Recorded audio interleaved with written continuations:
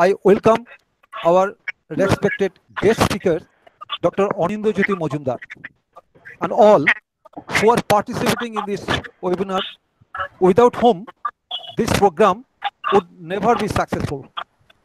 I am thankful to everybody, especially our respected speaker, who has agreed to give us his precious time to make this event successful. Now, I would like to invite our respected principal sir to speak a few words. It's over to principal sir. Thank you, Professor Jawardar.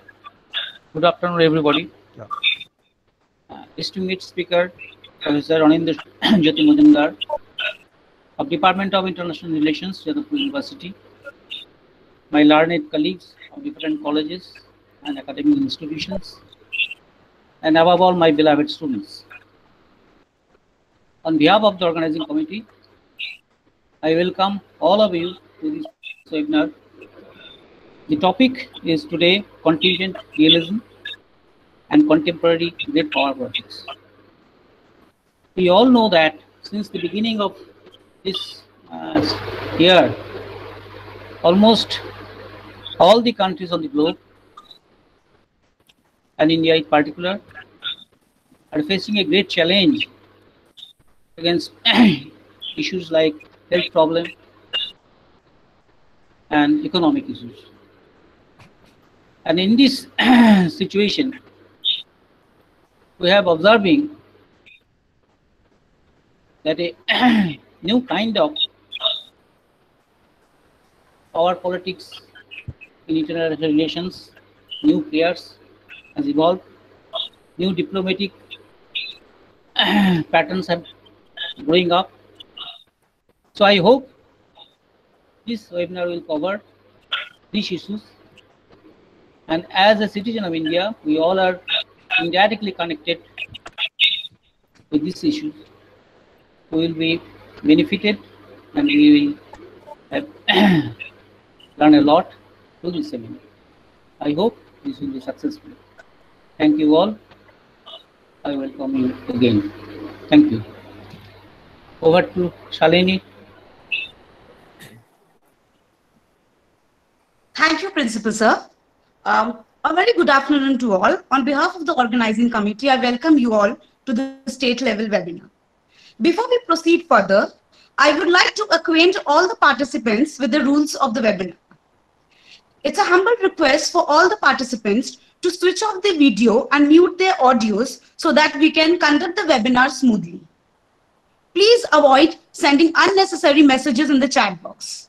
If you have any specific question for our speaker, sir, do post it in the chat box. That shall be moderated by the organizing committee in the question answer session. I would like to inform our participants that e-certificates will be generated at the end of the webinar after filling up of the feedback form that will be sent to you all in the chat box. Thank you. Now, let us move towards the topic of the webinar. The theme of the today's webinar, as the title suggests, is on exploring the pattern of international politics influenced by the major powers of the day. International relations has always been influenced by the great powers and one cannot ignore or overlook their role. The deep insecurity generated by the anarchic nature of international system propels great power to act aggressively against each other.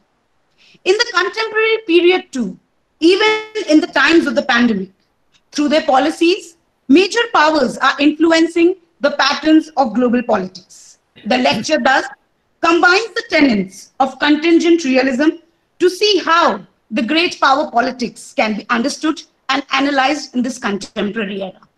The department is again grateful to Dr.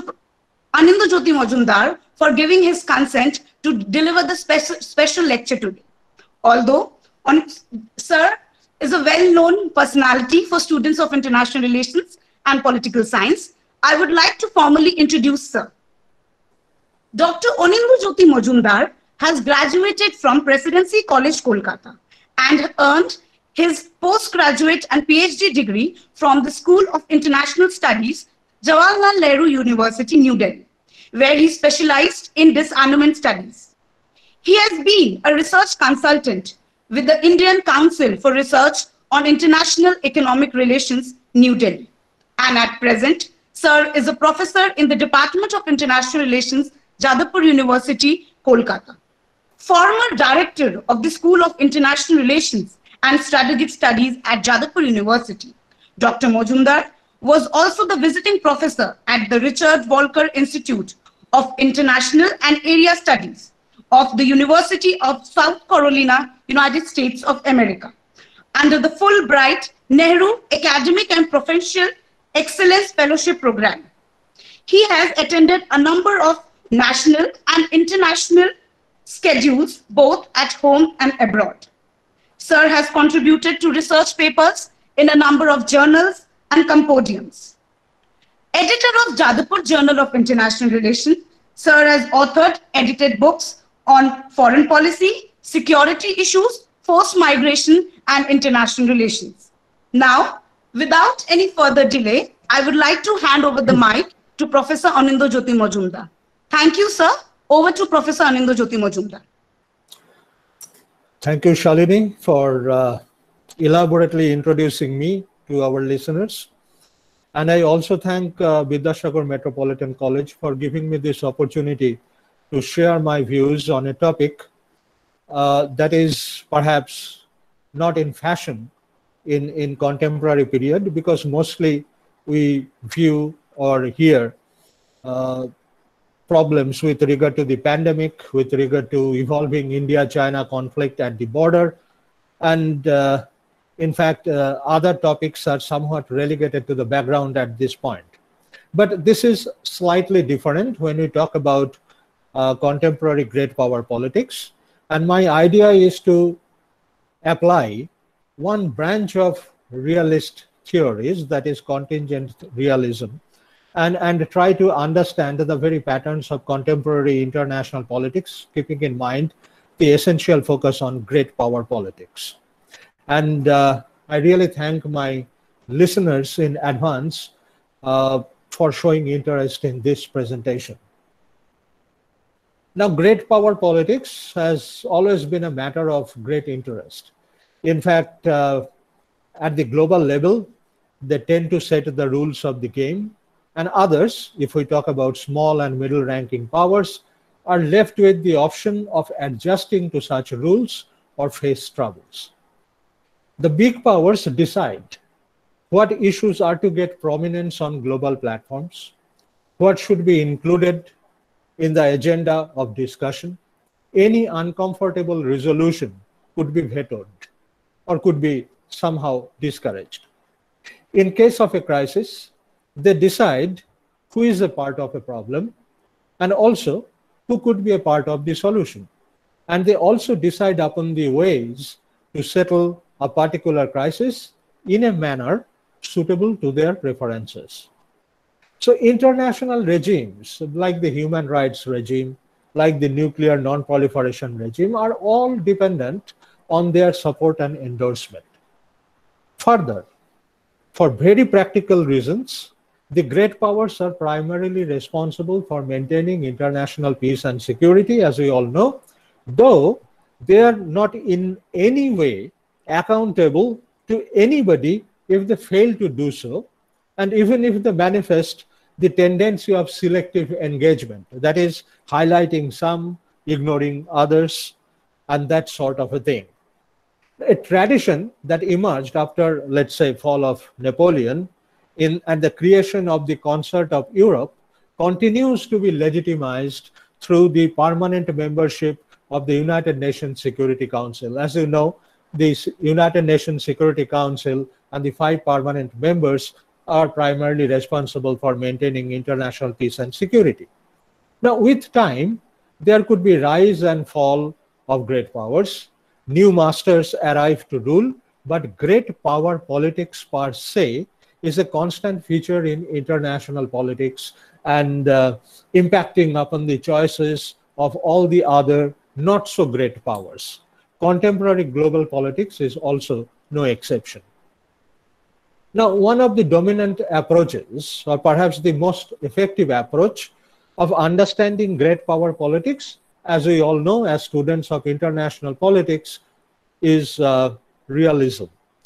But one has to remember, and here, you know, I submit the kind of understanding I have or that I gather from my studies of these theories so far, that is, realism is not for all and cannot be applied universally. It does not take into account the concerns of the small powers and the weak states. It justifies the way the great powers behave and encourages the aspiring middle countries or middle powers to follow the footsteps of the great powers. If the primary focus is on power, power being the means as well as the end, power as the currency to buy values like peace, security, development, prosperity. If you follow the classical pattern by, you know, propounded by Hans Morgenthau, it is quite obvious that the units that are powerless cannot be accommodated in such forms of analysis. Great power politics is essentially an incessant constant uh, contest and struggle, in fact, among themselves and the challenges emanating from the rising and emerging powers to dislodge them. In the process, various coalitions are formed among the prevailing powers or among the existing and the rising powers. These coalitions could be initially flexible, but with time they turn into rigid alliances. And in fact, small states can at best, you know, derive some benefits out of the situation by deftly exploiting the situation by shifting loyalties frequently, but it has its inherent risks as well. So when we talk about this kind of realist political philosophy to understand the patterns of international politics, we generally find that realist politics, realist ideas are best applied only to powerful nations and it really doesn't care about the small states. Now, since this incessant struggle for accumulating, increasing, and exercising power hardly stops, and there is no supranational authority to compel great powers to follow rule books, Kenneth Waltz, you know, the structural realist, calls this anarchy, where self-help is the ultimate option a state is left with that there is no central authority. No one can compel the states to follow rule books. So ultimately, the states are left with, you know, helping themselves. Now, what is self-help for small states? It may either bandwagon with a dominant power or get under the security umbrella of another great power. Trying to balance one great power by inviting the other, once again, is a very risky business. And at the end, only the option of choosing sides is open to them. So in essence, Waltz too, uh, as almost all realists do, you know, was referring to great power politics. And there are different terms, there are different, you know, kind of jargons we might say are used. Now, looking from the United States towards uh, the expansive global theater the diversities that appear, Waltz call this as anarchy. And looking from a corner of a world towards the United States would not reveal really anarchy, but some kind of or a state of hierarchy of multiplicity of aspiring states. Now, if you think of Organski, Organski argued that there are hierarchies and imbalance of national, uh, you know, capabilities between the disadvantaged and the advantaged nations is likely to preserve peace, not really the balance of power, but this hierarchy is dynamic and fragile as the contest for power continues, in some cases towards power transition. But what we are trying to see here is that even if we think of this kind of realist ideas being applied, once again the focus is on you know, power transition from one great power to another great power, and obviously not from great powers to the smaller states. Now, great power politics has its own momentum and it best manifests itself in a multipolar system. In fact, when we talk about the Cold War period, Cold War period was a break with two superpowers tightly controlling a rigid alliance system. Local issues were either suppressed or became global as a matter of contest between the two, with all kinds of, obviously, the ideological trappings. Now, end of Cold War, after bouts of immediate confusion, gradually returned to a multiplicity of great powers. These are prevailing great powers, declining great powers, rising and emerging great powers, and thereby bringing back, one might say, the return of great power politics to international relations and the elements of uncertainties, suspicion, distrust among the multiple actors and possibilities of flexible coalitions. Now we have the US, obviously the reigning power, uh, though there would be uh, some uh, kind of arguments with regard to its uh, decline or, or, or a somewhat dented but still powerful Russia, France, Germany, the UK, Japan, a rising China, and emerging India. So you would have a number of states, states who are great powers or states who have the potential to become great powers. And under such circumstances, attempts to balance become preeminent again, though who would balance whom, when, where, how would be a matter of speculation and conjectures as regional hierarchies are integrated into global hierarchy. Now, if we think that there is a return of great powers to international politics, with time, obviously it is not like, say, uh, the old ages, there have been attempts to redefine power as increasingly the instances of significant military conflict or military showdown uh, have become infrequent and objects of war are now can be achieved by non-military means. So that is, it is not always necessary to fight a war to achieve the objectives that states might have, uh, like the early, unlike the earlier days. Economic power, trade and investment, technology have become currencies of power and, and in fact, that can be skillfully used to pressurize the adversary. Access or lack of access to markets and resources determine the range of alternatives available to a particular state in varying degrees. In the era of globalization, therefore, for example, connectivity becomes uh, the buzzword and this connectivity finds its culmination. The whole program of connectivity, developing roads, infrastructure, ports, uh, highways, uh, railways, etc., etc. It finds its culmination in the Chinese Belt and Road Initiative, BRI, or One Belt, One Road kind of idea. And then, of course, we realize that how infrastructure development for apparently or ostensibly for economic gains has strong military and strategic portents. While economic gains are welcomed by all, in reality, smaller states might be compelled to pay the price of development by losing a part of sovereignty.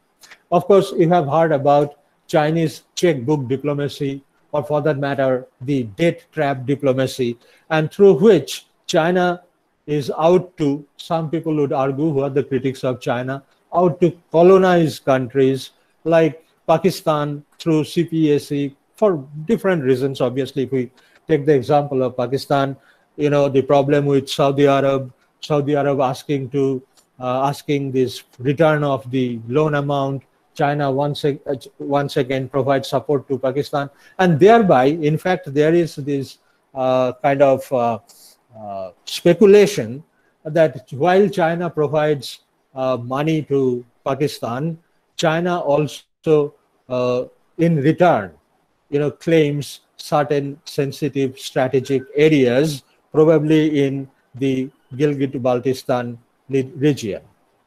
Now, this is speculation. I, I, I cannot really prove this particular, uh, you know, kind of criticism. And uh, you, you, can think of the very well-known example of Hambantota, uh, you know, where the Hambantota port was handed over to China by Sri Lanka, and now they admit that this was a mistake.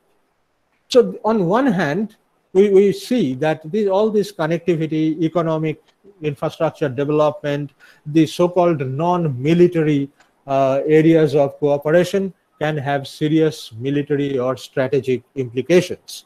Now, while many may believe in the adage that functional cooperation can have a spillover effect on, uh, in fact, uh, various issues uh, like uh, uh, the political disputes that the states have. And here, uh, in fact, we might say that not always there is some kind of automatic, let's say, kind of relationship you would find between economic cooperation and some kind of security cooperation you know, some people would argue there is a disjunction between the logic of security and logic of economics. And this, in fact, tell us uh, that, uh, just a second, excuse me. Yes. Uh, this, this, in fact, tell us that not always we would find some kind of very natural, uh, some, you know, kind of relationship between economic development and security development. That is, there are two different trajectories. You can go ahead with economic development, but at the same time, you might find it difficult to carry on with security cooperation. And, you know, sometimes the trajectories converge, sometimes they do not. There are people who would argue that this economic cooperation, for example, functional cooperation, worked fantastic, you know, in fantastic ways in Europe, and, and, and you have this European integration. But if you think of this uh, kind of uh, situation that is happening in, in India, then obviously the argument is that, uh, well, uh, you have this uh, trade war between US and China, some kind of border conflict between India and China. So what worked for Europe didn't work for Asia or might not work for Asia. Uh, so the basic idea is that uh, a great power must have a comprehensive national strength, as we say. Hard power, military power, might not work uh, all the time by itself, but there could be, you know, a combination with soft power, as we uh, refer to different uh, uh, you know, values, culture, and tools of attraction, as Joseph Nye has defined. And, and the ideal great power should know, Nye observes, how to combine the two to exercise smart power that you have hard power, you have soft power. So the basic idea is that the world has changed. And since world has changed, you know, because of a number of uh, developments, globalization, connectivity, economic uh, kind of cooperation, uh, and therefore, you know, states or the great powers might not only depend on hard power only. Uh, earlier they used to do that, but today the thing is somewhat different, and therefore, you know, we we find a nice combination of hard power, soft power, in order to, you know, kind of uh, expand their influence that the uh, great powers apply. Now, obviously, not all great powers are endowed with similar levels of hard power and soft power. What is China's soft power? You know, one might very well ask. But the idea is that a number of countries, uh, you know, uh, they follow or they try to accumulate soft power as well. Uh, for example, you know, there is something called faith diplomacy, Buddhism, how China is trying to expand influence in the uh, let's say, uh, Himalayan kingdoms in the areas where there is Buddhism and how China would try to use this Buddhism uh, in its favor. And, and therefore, I, I, would rather say, you know, there are such instances that there are three consecutive hierarchical stages through which a state might try to proceed. And first, to defend its interests, it's obvious. Second, to deter possible challenges. And third, and that is where the great powers seek to do, dominate the environment. In, in different degrees, when you have a very powerful state, in fact, it will certainly dominate the uh, environment. And they would also unabashedly talked about dominating the environment as one objectives of their foreign and military policies. Now, compared to that realist views, liberal ideas, if we think in terms of these most two prominent, dominant approaches of international politics, are more appropriate to understand the vast field of cooperative interactions among states on the basis of complex interdependence. Once again, I'm just referring to the basics. Small powers are safe and they can prosper within a rule-based order under international organizations and regimes, imposing restrictions upon great powers as well. So the liberal ideas could be applied universally, where respect for rule-based order could be theoretically used against a challenger to the system. However, the liberal views, once again, as I understand, do not seriously engage the issue of preponderance of power and great power politics. Obviously, if all states follow rules, and that is what every prudent person should wish, that states should follow rules. But in reality, the states, though they appear to justify their actions on grounds of certain one rule or the other, or one principle or the other, they generally do not always follow rules. And in fact, great powers themselves, they constitute completely a different class. They have the ability to change or alter global rules to bend the system without breaking it in a manner suitable to their preferences. So new geopolitical narratives are created, new issues are projected in international platforms, new you know kind of ideas are propounded and all by essentially the great powers. And when they do it, obviously they take care of their own interests and they try to retain their preeminent position in the international system of that day. So my point is that the nature of contemporary great power politics also is the same in its in its basic principles in its basic tenets and some might even say that contemporary great power politics resemble in fact pre second world war period when there were economic hardships rising powers charismatic leaders aggressive nationalist stances and arms buildup all these are present in contemporary period as well. So one might ask, you know, what it would lead to because history tends to repeat itself. But dictatorial interventionist policies are hardly possible today uh, in contemporary period. Obviously, after 70 years of, say, or, you know, uh, I would say 75 years of, of the Second World War, the world has changed much. And because of too many reasons, a total war is probably uh, out of question. And, you know, among these too many questions, I, I might mention a few just to give you the, you know, hint uh, what I am trying to uh, arrive at. That is the presence of nuclear weapons and the fear of unacceptable damage and destruction actually continue to compel states to behave in restraint that is called Pax Atomica, peace under the atom.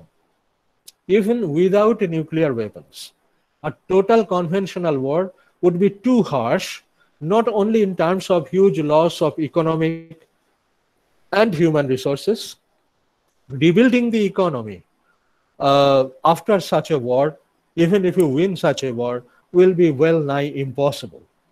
So the great powers today continue to explore various possibilities of limited war with application of technology moving towards, for example, this is just one of the examples, cyber warfare.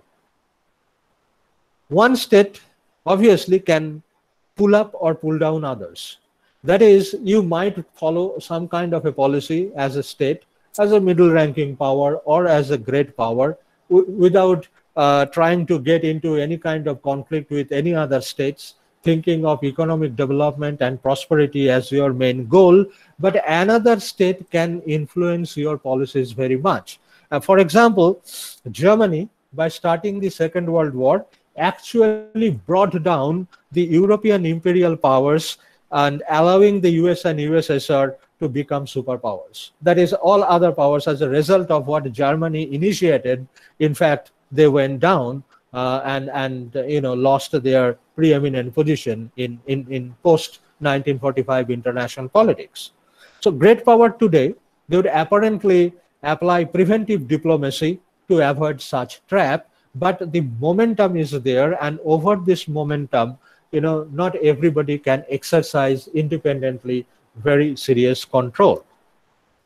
Now, in the absence of military showdown, there has always been this idea that you know you you consider a particular state as powerful, and there is preponderance of power, huge power concentrated in a particular state, and that state then moves out to change the power equations, establish prevailing power equations, and therefore leading to a war. But when you do not have this possibility or very low possibility of total war, then power thrives on perception. That is, you perceive whether uh, a state in terms of its abilities and also in terms of the, in, in fact, the quality, uh, you know, whether it is benign or malignant, determines the attitude of other states and thereby certain legitimacy is accorded to the actions of the great powers. We tend to perceive a hierarchy of great powers. We tend to perceive a band of great powers at a given point of time, and we always speculate who else is going to join them, who else can actually exercise control over in over international politics. You know, all these stories of rising China, emerging India, etc., etc., are some kind of an exploration into this kind of uh, you know ideas that there are great powers there is a club of great great powers the high table and who are actually occupying the chairs on the high table who are the newcomers who have the potential to come.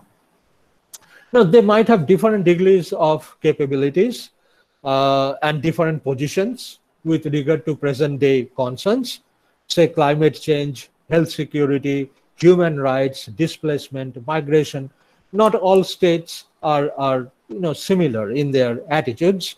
And uh, they are the but the idea is that they are the leaders and they influence the international politics. And therefore their attitude their perceptions their you know policies would uh, influence or would actually determine the success that the international community might have in these present areas of, say, common concern.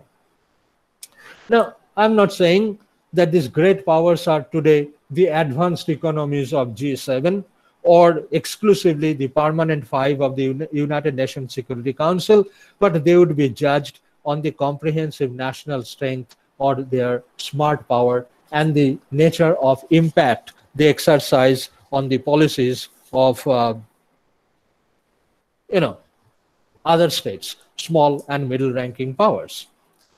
Here comes, in fact, the point is that when you apply realism, the conventional structures, or you know, neo-realist ideas, or, or for that matter, liberal ideas or neoliberal ideas, we, we find it difficult to clearly explain uh, how uh, the you know kind of uh, the great powers at, at, at, at, at the top at, of the highest echelon of a hierarchy at any given point of time actually behave.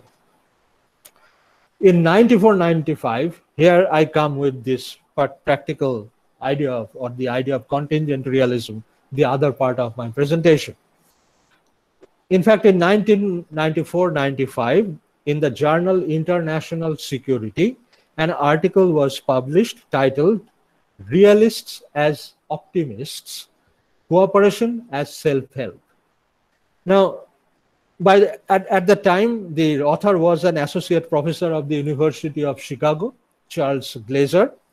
Now, he did not challenge structural realism, but he said that he actually tried to reinterpret it, and this interpretation he labeled as contingent realism. Now, what he wrote in that particular article, it didn't create a revolution. That is, you know, the article was published. Obviously, there was some appreciation for it. There was some criticism. It didn't create any kind of revolution that, oh, oh a new kind of, you know, approach has arrived on the field. Uh, and, and in fact, if you think these mainstream realism studies, they do not really uh, uh, accommodate this kind of views. And even if you think of the book by Baylis and Smith, in fact, only three or four lines are devoted to contingent realism, at least in the initial editions uh, that I, I, I, I, came across. Glaser also wrote a book at a later point of time in 2010. Uh, it's called Rational Theory of International Politics, but that book is dense and that book is very, I would rather say, very challenging to, in, in fact, grasp too challenging to understand and does not really serve our purpose. So I will just focus on that particular article he wrote in International Security and, and I will select three main arguments from that particular article. Now his view is that, that one out of three, the standard explanation of realism is biased because it emphasizes competition overlooking its risks and implies that self-help necessitates competition. That, you know, states are involved in power struggle. They are always competing with one another. And, you know, this competition obviously has certain risks. And, and uh, you know, this very idea of realism, structural realism or whatever, they, they, they overlook these risks. And Glaser's idea is cooperative policies can be an important type of self-help. So states' choices between cooperation and competition are highly conditional with no general preference for competition. That is, states do not really prefer competition, conflict, etc. These are conditional. Depending on the situation, the state might use cooperation, might use competition. Absolutely you know, a deliberate choice that the state may have. Second important argument that Glaser uh, provides, it is in assessing their security, state should focus on the ability to perform military missions and not on power as such. That is, when we talk about balance of power, how do we define balance of power?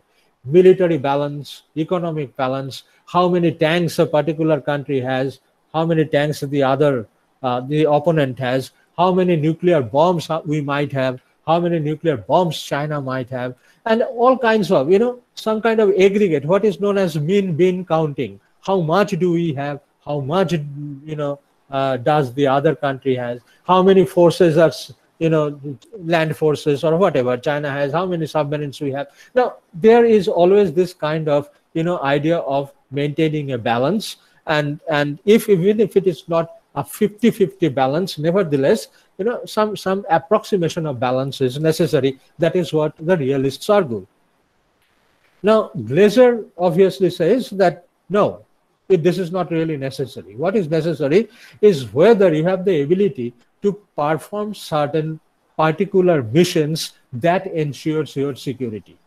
So you don't have to go for, you know, kind of balance of power, so to say. So states motivated primarily by security should not, as a general rule, try to maximize their relative power. They don't have to maximize their relative power. They have to perform certain mission-specific abilities.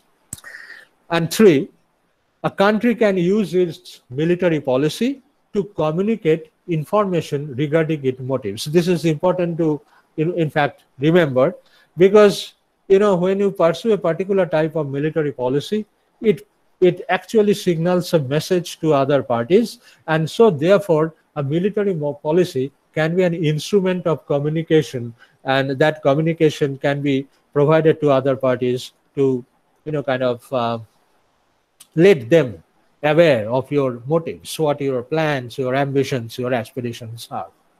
And that means you don't have to go into a war but your military policy would actually provide uh, some kind of uh, message to the other parties. Uh, you know what kind of uh, country you are how would you like to use your power?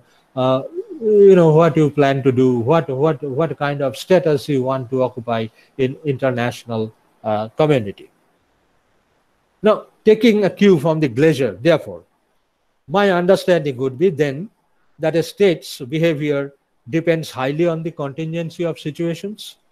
Uh, the state's choice of cooperation and competition is highly conditional. Balance of power is secondary to uh, mission capabilities and the military policy communicating messages regarding motives. Now actually influence the behavior of the great powers. And the contemporary great power uh, politics is essentially a combination of all these. Now how it does i will just uh, you know kind of uh, tell you this. But before going into that let me just mention because it is always you know uh, in contemporary period the idea is always to say something about the pandemic uh, or the new normal in the post covid period now my observation would be that the pandemic has definitely impacted IR, but has not replaced the basic premises of great power politics. Now, during the pandemic, you know, generally what has been uh, our, uh, let's say, uh, basic issues of consideration in the say in the 1990s or during the first decades two decades of this particular century that there would be you know common global concerns there would be collective efforts to tackle these problems. Uh, non-traditional security human security issues are to be highlighted. But while the usual response therefore should have been focused on collaborative measures and collective efforts by the states in line with the much touted ideas of non-traditional human security states did and still they do what they knew best and opted for self-help and insularity. There were also a few virtual conferences among the world leaders but apart from procuring medicines protective gears vaccines for their citizens you know in the coming days there were hardly a you know there was hardly a common platform or plan to tackle the pandemic at a global scale. New terms like health diplomacy vaccine diplomacy and following china's one belt one road health silk road these have come in vogue. And in this signify how the powerful have acquired a new tool for expanding influence.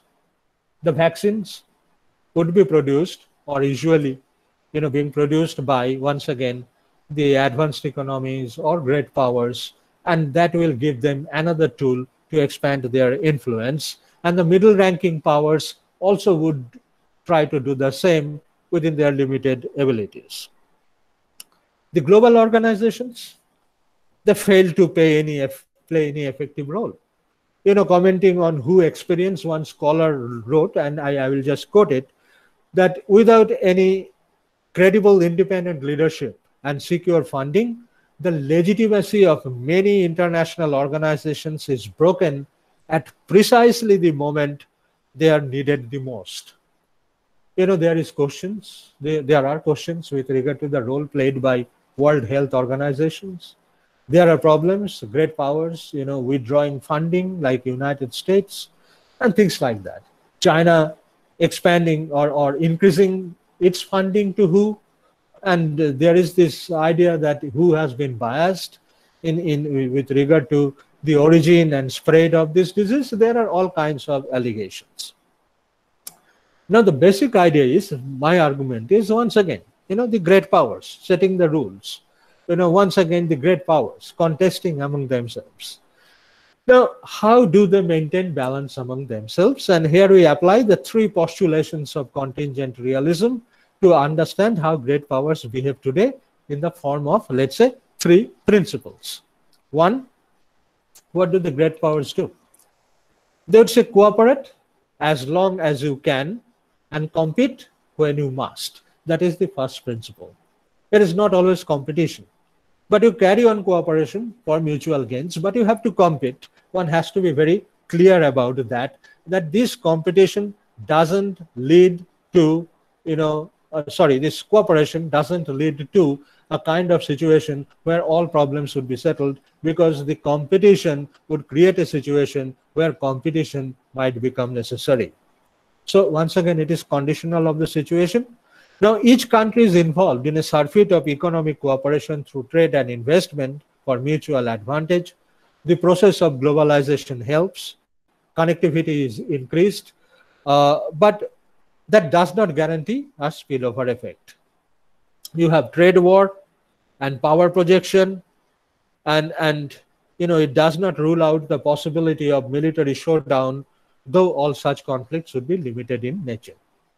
Second, balance of aggregate power is redundant following the second principle. When the possibility of total war reduced to a minimum, ability to perform, perform specific missions, as I was just referring to, limited in nature and scope becomes important where technology becomes the key.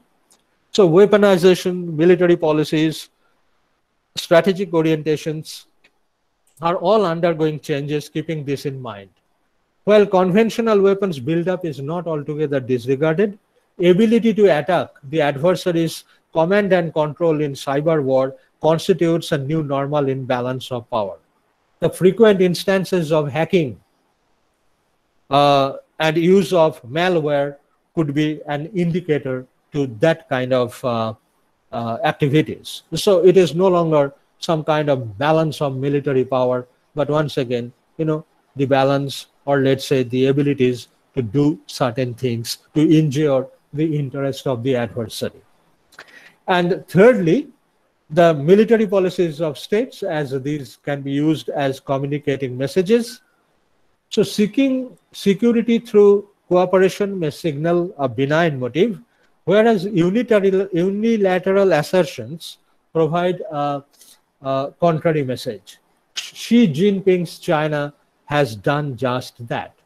So in recent months, China has been involved in conflicts in South China Sea, sinking Vietnamese and Malaysian boats, sending gunboats to Japanese uh, islands, flying into Taiwan is airspace, uh, grabbing Nepal's villages, claiming Bhutan Sakteng areas, you know, in addition to Doklam, and to top it up, the standoff with India that resulted in a bloody, bloody conflict.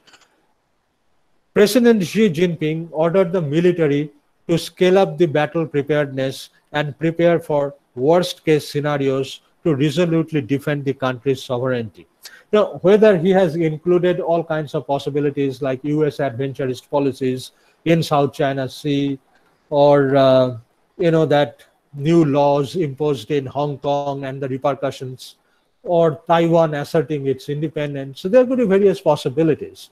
But China is the only state that has actually, in fact, uh, ordered to, uh, in fact, uh, its forces to remain prepared for a military showdown in the even in the absence of a clear direct military threat all others are you know getting the messages and trying to in fact create some kind of or adopt preventive diplomacy adopting different measures and thereby you know there is an attempt to isolate china to a certain extent obviously what would happen in future we cannot say but these are the trends that my, we, we, we see at this point of time.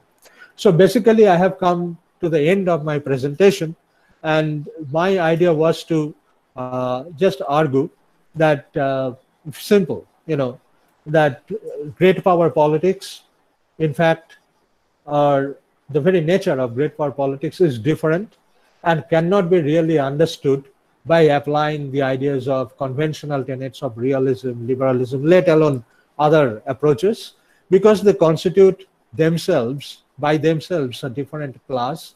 And you have newcomers, you have fall of, you know, kind of uh, great powers from that club, you know, could be uh, member can go out, new members can come in, but the great power politics should continue.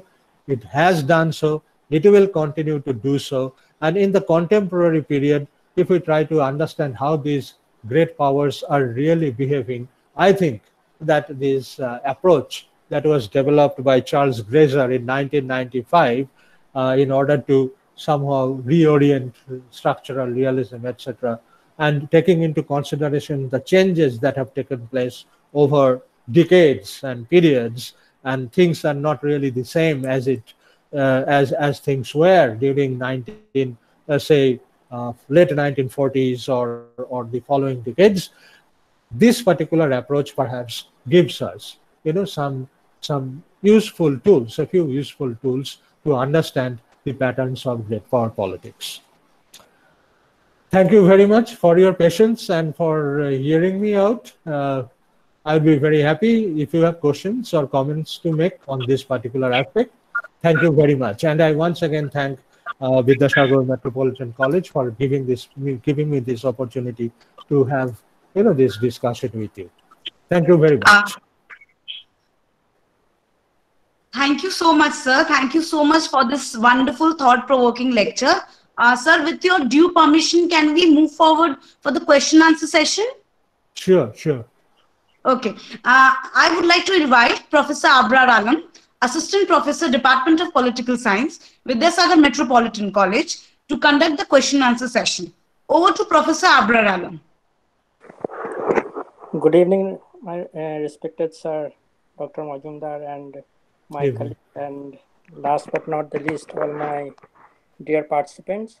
Uh, seriously, it was a very thought-provoking lecture, and uh, uh, basically, it never felt that we were in a webinar. It felt more like we were having face-to-face uh, seminar sort of thing because the whole lecture was went uninterrupted without any technological hiccup like most of the time we have online like there is technical problems and all but this was perfectly smooth and we could hear you sir very clearly and it was absolutely perfect coming down to Thank the you. question sir if you uh, if you can just confirm me sir am i audible to you Yes, absolutely. Okay, sir. First question is from uh, Shrestha Chaudhary, and she's asking Can the regional hegemonism be the expression of realist instrument of the great power? Sir, I repeat Can the regional hegemonism be the expression of realist instrument of the great power? Over to you, sir. Yes. You know, regional hegemonism obviously creates some kind of regional power hierarchy. When you think of a particular region, you know, say for example, if we think of South Asian region, though I do not really believe in, uh, you know, South Asia as a completely independent geopolitical unit, but then you have some kind of, uh, you know, one hegemonic power at the core that is India.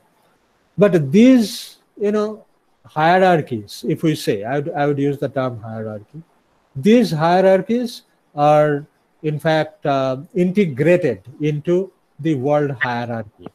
And in fact, all, all in all regions, you would find some important uh, major powers exercising some domination over other regional powers, facing challenges from those regional powers, because in many cases, the gap in, in, in power in fact, uh, the gap in the abilities, rather, let's say, use the term the ability, uh, is, is not so huge. When it is huge, then obviously you find a different kind of situation where you, know the hegemonic power controls most of the uh, kind of uh, the patterns of relations within the region unless this hegemonic power is thought to be balanced by inviting an in, instra, extra regional power into that particular region. But I, I will I will just simply say that it's it's you know whether it's a reflection of realism that is not really the issue. The issue is whether this kind of behavior can be understood by applying these realist ideas because the states they pursue their policies on their own they are very much pragmatic and the state is neither a realist nor an uh, kind of idealist. The states are states adopt pragmatic, you know, states. But how do they do it, and what kind of you know motivation guide them? You know, if we try to understand that, then we apply certain theoretical premises, certain approaches, and hegemonism, obviously, you know. Uh, you know, if you if you go by prudent liberal ideas, then sorry, that would be something that would go against rule-based orders, you know, cooperation, etc., etc., whatever.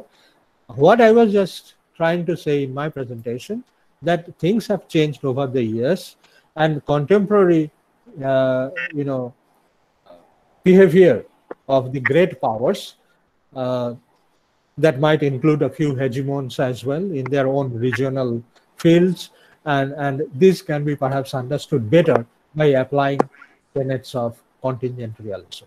That was my position. Sir, thank you so much, sir. My second, uh, uh, not my question, but participant question. Yeah. The second question is, sir, uh, I'm not sure about this. This is by Silpa Sinha, and she's asking, sir, like, please explain the smart powers. I'm not sure if you mentioned smart powers or small powers, sir. No, I have mentioned smart power once. Okay, Yes. So she wants to know how, what is the explanation of smart powers? How do you define them, sir? Please. Okay. You know, you you know hard power, this military power. You know soft power. That is what Joseph Nye, you know, came up with. And then the idea was whether soft power is important today or the hard power is important today. There is a debate. And the idea is some people would say, okay, you know, you cannot simply use hard power all the time. Fine, no problem with that. And then people would say, you know, hard power works well. But one has to remember that soft, soft power, in fact, works best when it is backed up by hard power. Mere soft power might not work, you know, wonders. Uh, in fact, uh, the idea is therefore, and Joseph Nye talks about it, not me as smart power. Joseph Nye says that the major power should know how to combine the hard power as well as the soft power. That is, you can use coercive policies with a coating of you know soft power. That is, you can carry a stick but speak softly. You can you know kind of follow some kind of uh, you know policies that that would have the backing of obviously the kind of strength you have, but at the same time you talk about various you know acceptable values and cultures, and thereby you use what Joseph Nye calls smart power, and that's that is what a smart power is. That is you in fact smartly combine hard power elements and soft power elements. So thank you, sir. I think in, in this context, I think India is following a very smart power politics at present, dealing with China. Okay, but the idea is whether a particular country is smart enough or using smart power, uh, there is a difference True. between the That's true, sir. Yes, that that will will will see in future wh- what, certainly. what results in. Yes, certainly. Thank you, sir. Now, third question is uh, just for the participants, sir. I'm trying to accommodate as many questions as possible, but we have been flooded with a lot of questions, and if time permits, then I'll I'll continue taking up questions. But uh, Yes. if not, then if some questions are missed, then I apolo- ap- apologize to the the participant. Uh, it's just a matter of time that I, I, I would be unable to accommodate all the questions, but I'm trying my best. So the next question is uh, by Mr. Pradeep Panda. He says, "Do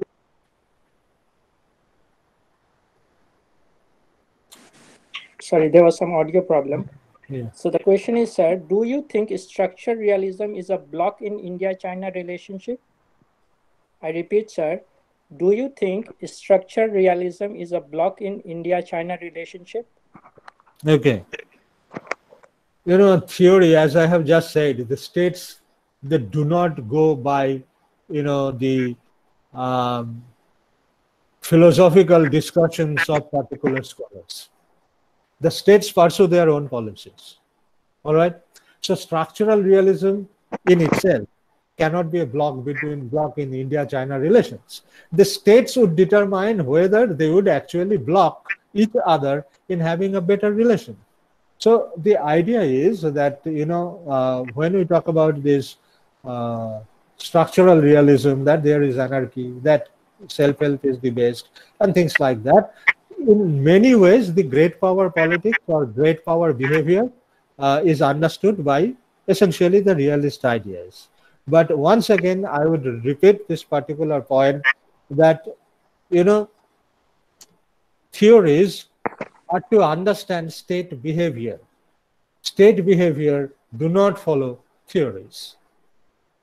All right? They behave in their own ways, what they think it is best at a particular point of time. And academicians, or let's say as students of international politics, we try to understand what uh, you know what what what kind of approach would best explain the relations between uh, say two adversaries Thank you, sir. The next question is by uh, Ch- Chitrita Chaudhary, and she's asking, what are the indicators of a great power in contemporary world? I repeat, sir, what are the indicators of a great power in contemporary world? okay you know there is no you know kind of criteria that we can apply that this is a great power and this is not but obviously in perception we think of the comprehensive national strength. For example you know you might think of a country with huge economic power but very little military reach. Or a country with all kinds of military power but very little or let's say less economic power to back that kind of uh, you know military uh, kind of um, power it has. And therefore you know if you think a particular country that has some amount of economic i mean military power that is and remember every time i use the term power i actually refer to mission specific ability that you can do certain things. You can injure the interest of the adversary. So when a particular country has this kind of you know kind of ability and that ability and increase in that ability is possible by uh, supporting it with you know uh, durable economic strength. Not fluctuations but durable economic strength. Then obviously it would you know be a kind of uh, comprehensive national strength that these states might have. So you can always say united states is a you know great power Russia, I will not disregard Russia. I will not, you know, kind of in a way would talk about European Union as one group, but I would rather talk about Germany because Germany has the potential. I would talk about obviously China. I would talk about, you know, in a way, India. In fact, when you have, you know, both these, in there will be differences in degrees but nevertheless, uh, the countries uh, that you can you can think of, you can judge the kind of comprehensive national strength and the mission specific abilities, and thereby you come to the conclusion who could be the potential uh, great powers or the prevailing great powers. And that is why I have used uh, those, uh, you know, kind of qualifications prevailing, existing, rising, emerging, declining, but not yet declined. All these countries, and there could be differences, there could be uh, fluctuations in your abilities, but they formulate, they actually form a very serious, you know, independent club, we might say, to lead the patterns of international politics. So next question is by Alik Naha, and it goes like, how would you how would you assess the new great game in Central Asia and is there any possibility of contingent realism among powers in the new normal? I repeat, sir, how would you assess the new great game in the Central Asia and is there any possibility of contingent realism among powers in the new normal? Look, it has two parts, so this particular question. Now, if you think of the great game, obviously, you see, geopolitical narratives are created by interested parties. That is whether it is a great game or not. That's a that's a kind of debatable issue. There is, you know, you you have different powers coming there in the Central Asian region, trying to expand influences, trying to ensure their respective, we might say, energy security ideas. You know, you have uh, India interest is interested in Central Asia. China is very much present in Central Asia. Russia is not going to give up that particular region. So you you you think of this very great game that are happening once again. All right, but these great games would happen in different parts of the world. You are just talking about a particular theater, and uh, you know uh, you you develop a particular geopolitical narrative, and these geopolitical narratives are also not, uh, uh let's say, um, neutral writings China has its own narrative. We have our own narrative. Russia would have its own narrative. So you can just call it a great game and, and where people are involved. All right. But here the idea is once again, you, who are involved here? When you talk about a great game, you talk about the great powers. All right. Others, that the point that I was trying to say, Central Asian republics, they are not players in the great game.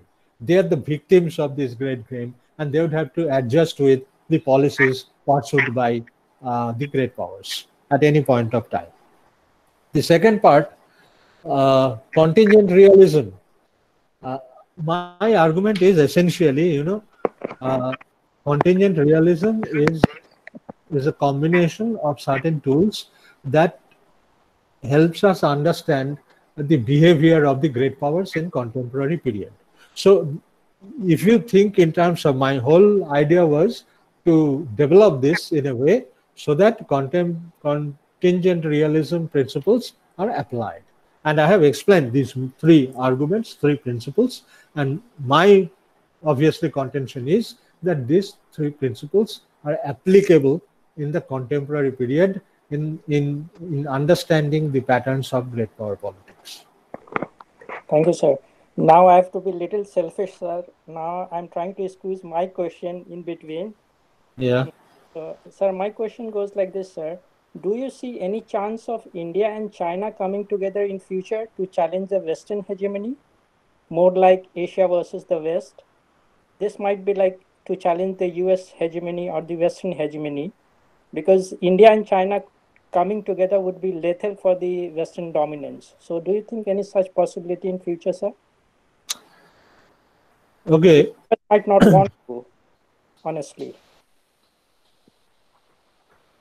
that is i cannot predict this but the basic idea here is that i take it from my in my understanding you know china has reached a stage after all this economic development where china is or can challenge uh, the system itself the system that has given it all kinds of benefits all kinds of you know, kind of uh, economic, you know, kind of uh, benefits and gains and allowed it to expand its influence. And China is now, you know, would like to have impact. You know, the argument you say of India, China coming coming together. The basic idea is that, in my understanding, China wants a kind of unipolar Asia and a bipolar world. In fact, China would like to establish direct G2 type of relationship with the United States. And uh, that China can only do, China can only acquire that kind of status by dominating both Japan and India. And therefore, you know, there would be, you know, as I have mentioned, that states would cooperate as long as they are not compelled to compete. But this competition between India as a rising power, I mean, emerging power, and China as a rising power would take place. Because if I follow, you know, the kind of arguments that I have presented in my present, you know, kind of uh, discussion, then the idea would be that there would be better, uh, greater possibilities of conflict at a later point of time between India and China than India, China actually coming together against United States or US hegemony. That is what I understand. And obviously, uh, you know, on the platform of BRICS, on the platform of SCO, uh, there would be all kinds of interactions. Probably this border uh, issue at a later point of time would be settled. But nevertheless, it doesn't mean that China and India would form some kind of a very close coalition against US hegemonism. At least there is no such trend available at this point of time. Rather, we, if we think of Indo-Pacific region and the Quad, formation of a Quad as a platform, USA and you know the kind of treaties like LEMOA and all that we have with uh, United States, I really don't foresee, at least in the immediate future, India and China coming together and you know kind of forming an united front against the United States. Thank you, sir. Uh, I'll just take two more questions, sir, because uh, I think sir has been talking continuously from almost more than one hour now. So uh, there's one question by Sanjay Biswas, and he's asking, sir, who is the real power monger in recent scenario, US or PRC?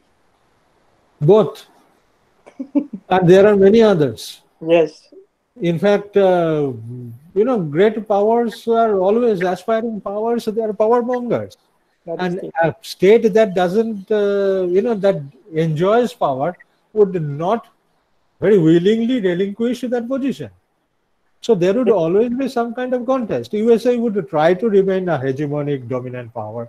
China would try to dislodge United States. Russia would try to find its way into that kind of situation. As emerging India, we are trying to, you know, play one important role. So countries are power mongers. So you know, there is there are too many. Sir, one last question now. Yeah. Sir, in your view of global non-state actors like religion, terrorism, ethnic strife, will it be wrong to assume that contingent realism will have limited implications? I'll repeat, sir. Yeah.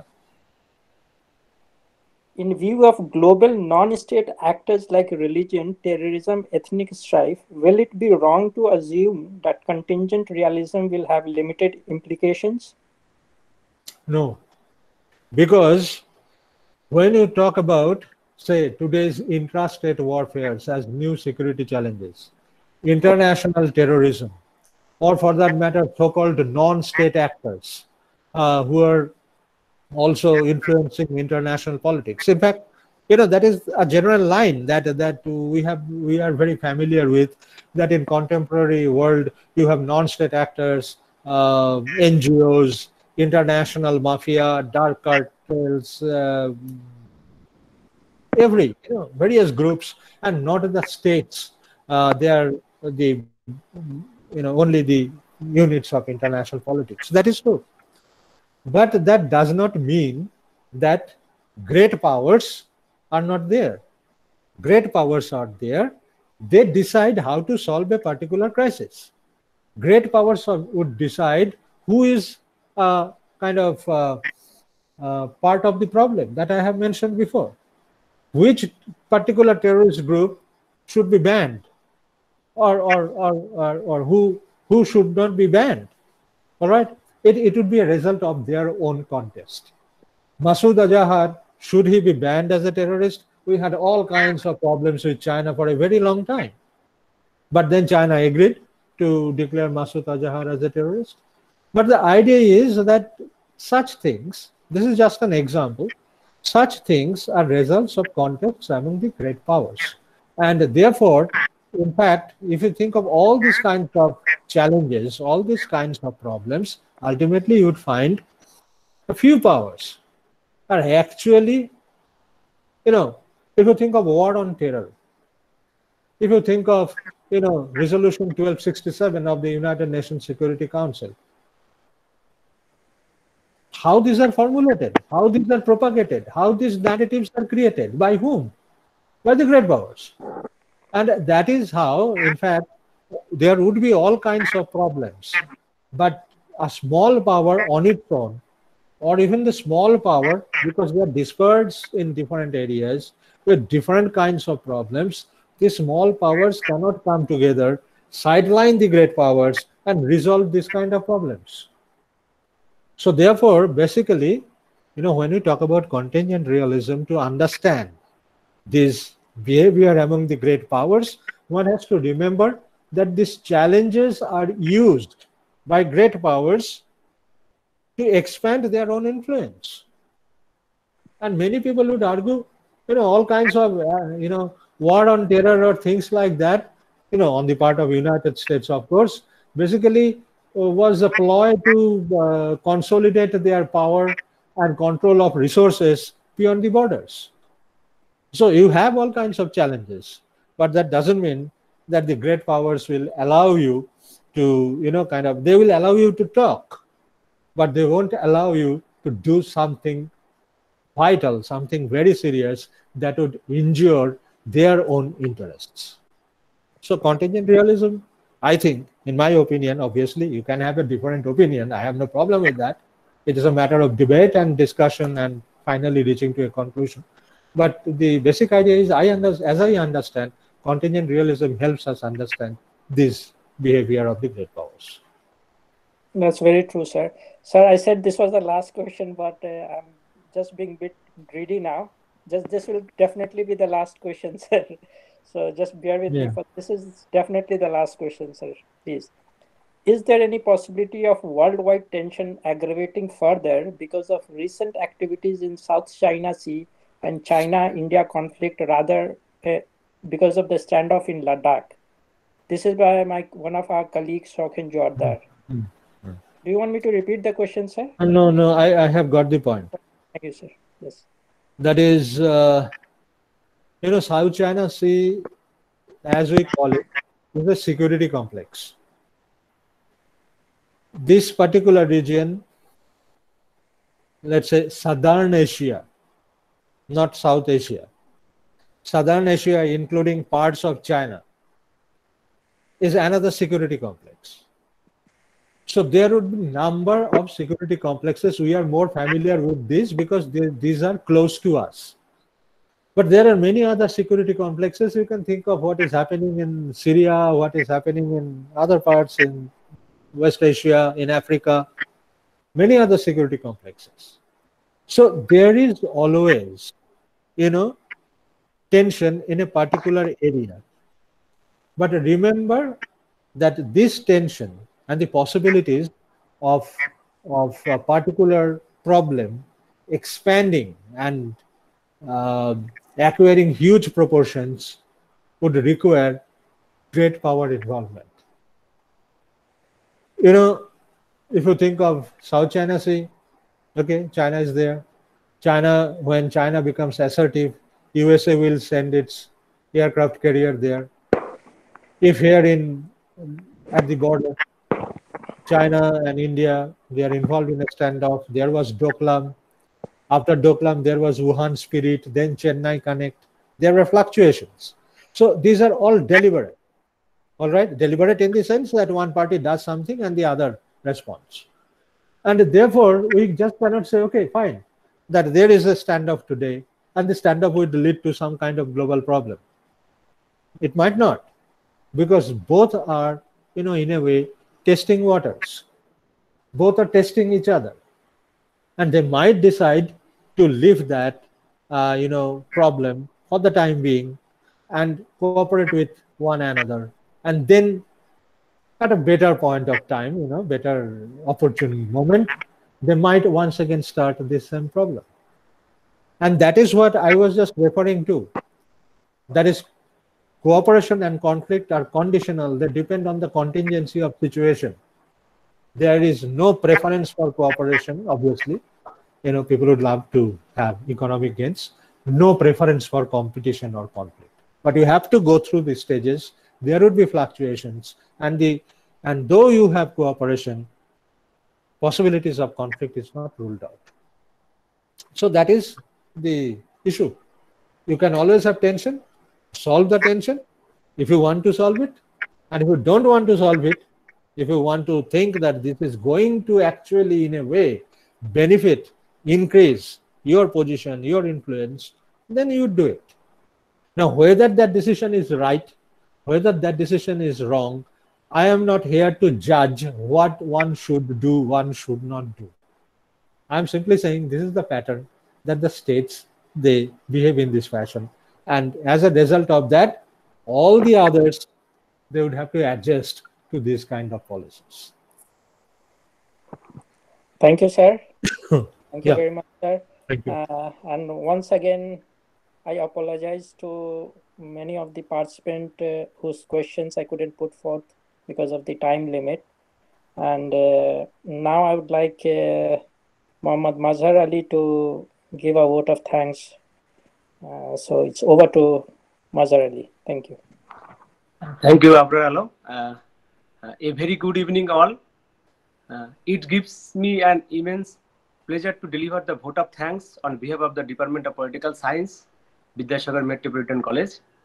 On the behalf of the department, I, I would like to thank our Honorable Principal Sir, Dr. Ramswarup Gangopadhyay, for the always encouraging us and providing opportunities to organize such event. Thank you so much, sir, for your continuous support. And I would like to very, very thank our guest speaker, Professor Anindo Jyoti Majumdar, Department of International Relations, Jadavpur University, for giving his consent to be the guest speaker for today's webinar.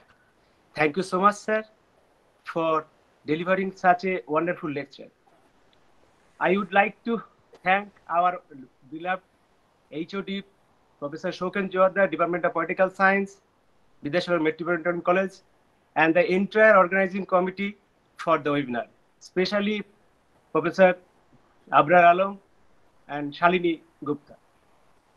I would like also thank to Professor Shubhankar Roy, Department of Physics, Vidyasagar Metropolitan College, for giving his technical support. And last but not the least, I would like to thank all the participants that includes teachers, students, and research scholars from the different institutions who attend this webinar. Once again, thank you everyone for making the webinar a successful one. Thank you.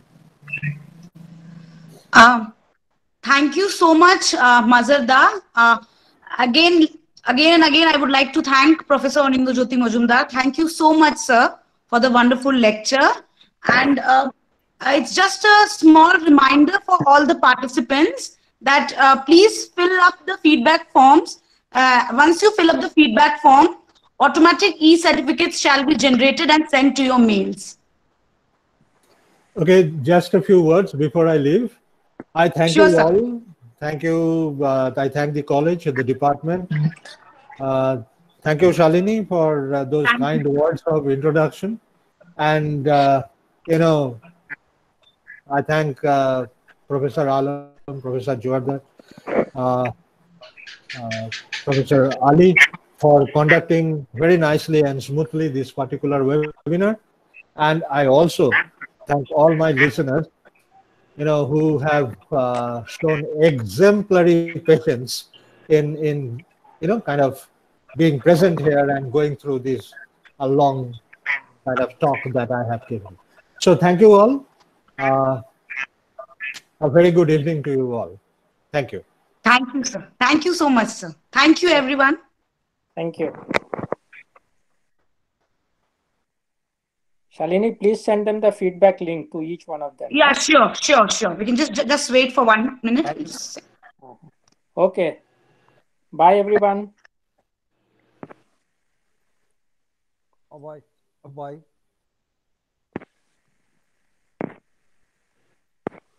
Bye, everyone. Bye.